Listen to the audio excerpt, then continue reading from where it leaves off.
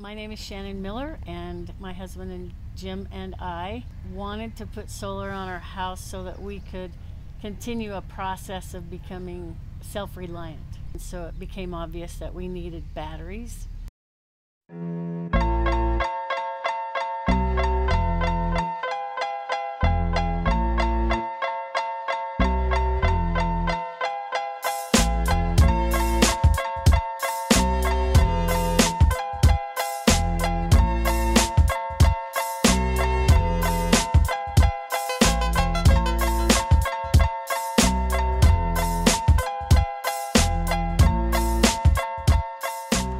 All right, guys, uh, we're out here at the Miller's house today. Uh, it's been a couple months since we've done their install. We were just doing a review with them, um, make sure they know how the system works, uh, knows the different applications between on-grid and off-grid. There were some decent complications that we had to overcome between their existing solar system and the system that we added.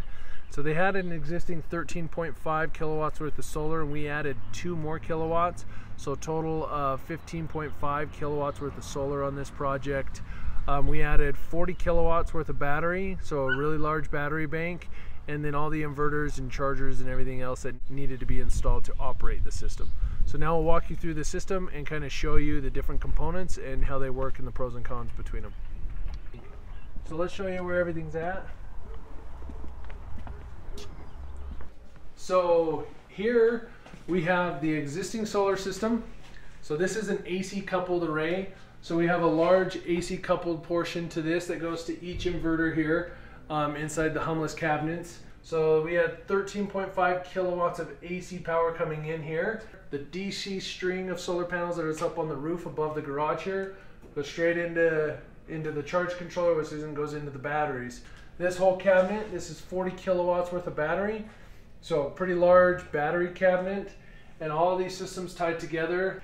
And then we have our our uh, gateway here and another charge controller down here and another inverter to power a generator. If for any reason they lose sun it's been cloudy for multiple days the grid has failed and their batteries are depleted they can charge the batteries from a generator now and then have a, a few days worth of runtime on the batteries. And this system is grid tied but they have the full capabilities of taking almost the entire property about 95% of all the loads that are in the home they can now power those loads for multiple days on end uh, in the event of a grid failure. Or if they just want to cut power to the grid, they do have that, but they are going to give up a little bit of their lifestyle in order to just cut power entirely to the grid.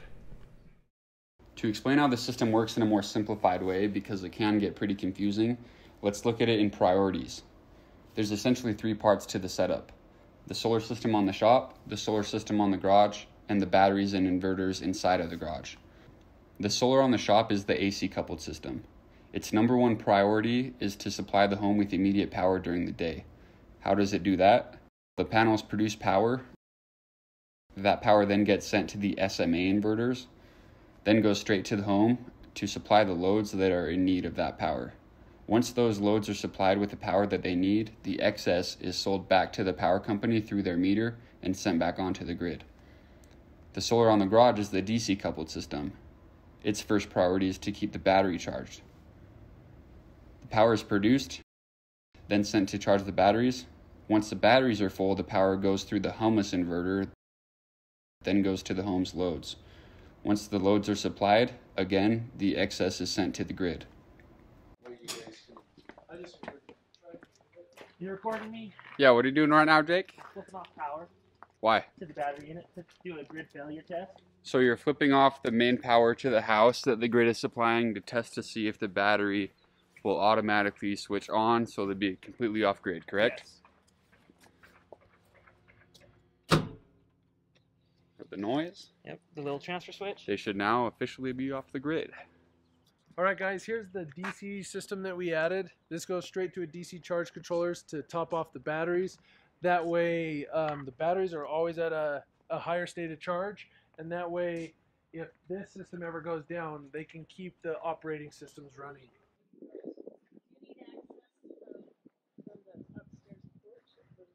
Uh, no, so we got, we got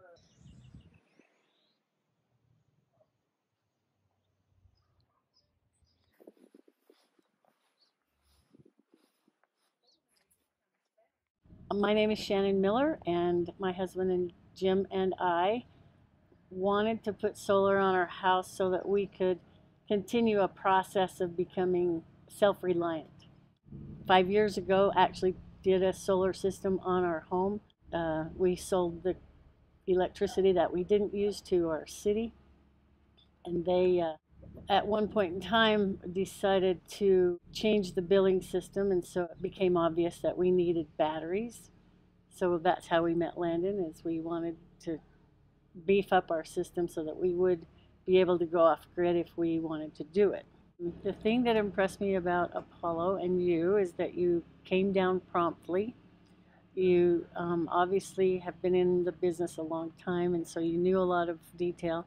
I love reading, I love learning about how things work, and you knew way more than I did. So I knew enough to be dangerous, but you cleared it up for me.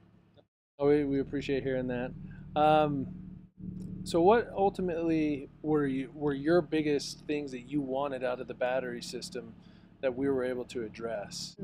You know, we go to all this trouble to put solar in, but then when the sun goes away, we have nothing. So the battery would help us to run all night long and run a few cloudy days in the winter. So if you're going to go all in solar, you might as well have a battery. What is Yeah. your goal and why do you want to be off grid and kind of self sustainable on your property?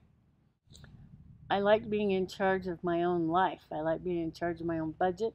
I like being in charge of um, if things work, it's because we planned well and we don't want to rely on everybody else.